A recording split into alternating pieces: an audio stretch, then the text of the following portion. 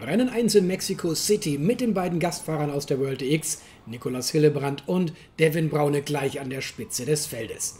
In der ersten Schikane Rangeleien und Kollisionen im Mittelfeld. Da wird ein bisschen Farbe ausgetauscht, während vorne die beiden Gastfahrer, die eSports Racing Profis, eine Demonstration ihrer Klasse zeigen. Die beiden fahren fast die komplette erste Runde nebeneinander. Nikolas Hillebrand im roten Gastauto des AVD und Devin Braune im blauen EX0.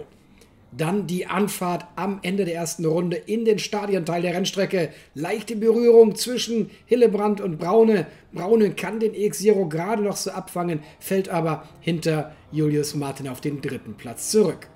Die Rangeleien in der ersten Schikane noch einmal aus verschiedenen Positionen oder Perspektiven. Hier aus der Hubschrauberperspektive sieht man das Duell zwischen Stefan Warschow und Steffen Walter. Leichte Berührung auch hier. Und das Ganze auch noch einmal aus dem Cockpit von Steffen Walter. Damit seine Ambitionen in diesem Rennen natürlich deutlich geringer.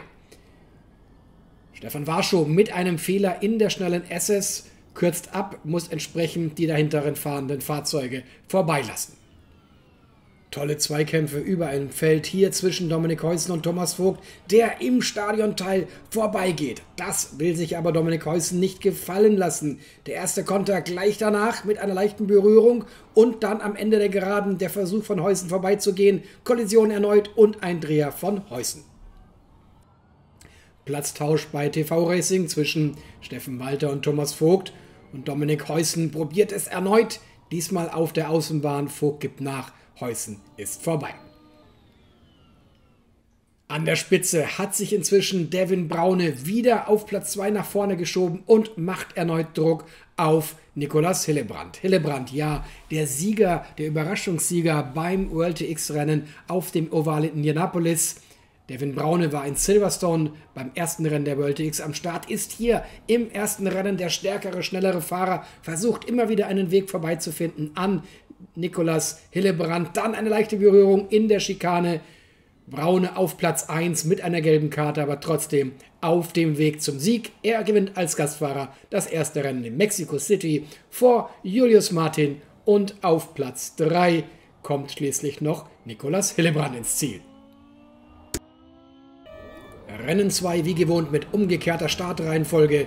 Stefan Warschow, der aufgegeben hatte im ersten Rennen auf der Pole Position, wird auf dem Weg zur ersten Kurve gleich attackiert von Björn Skottke, der allerdings zu spät bremst, neben die Strecke rutscht und die Führung an Thomas Vogt abgeben muss. Bei der Rückkehr auf die Strecke Kollision zwischen Björn Skottke und Nikolaus Hillebrand, der dadurch weit zurückfällt.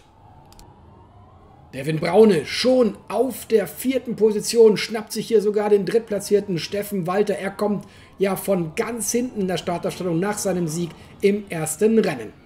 Wieder, wieder eine klasse Leistung.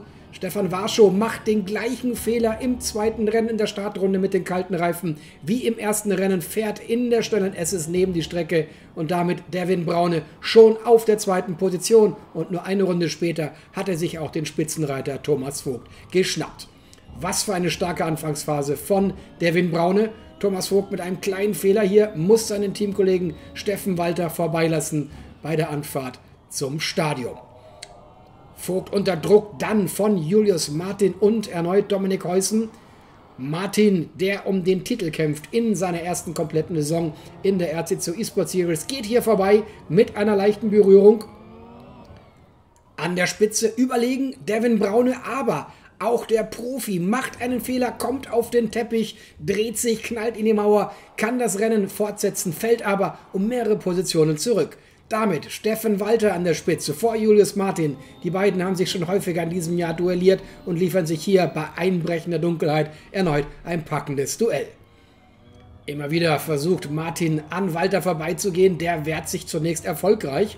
Und der Profiteur davon, das sieht man gleich, ist erneut Devin Braune, der sich von seinem Ausrutscher erholt hat, die beiden Führenden einholt und dann beide gleichzeitig attackiert in die Schikane hinein.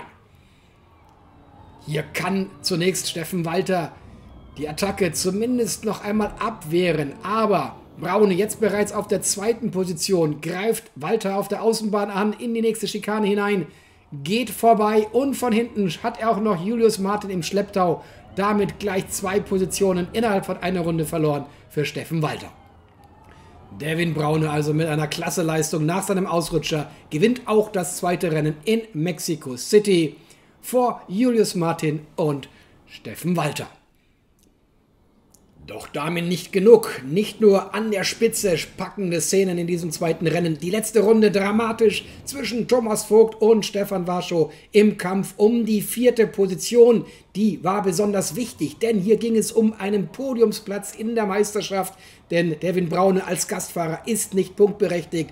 Damit Stefan Warschow hier in der letzten Runde vorbei an Vogt und damit sichert er sich als achter Fahrer in dieser Saison das Ticket für das Superfinale auf dem Kurs in Le Mans.